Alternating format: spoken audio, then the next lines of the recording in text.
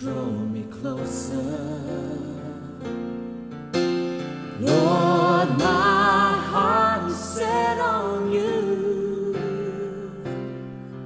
Let me run the race of time with your life enfolding mine,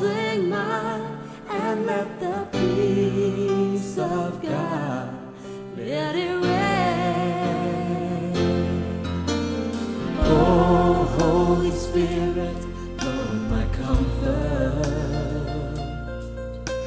Strengthen me, hold my head up high, and I stand upon your truth, bringing glory unto you, and let the peace